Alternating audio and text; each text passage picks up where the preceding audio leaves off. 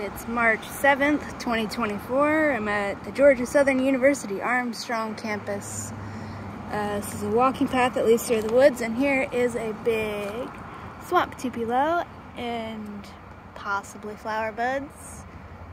I assume they're flower buds, they look like it.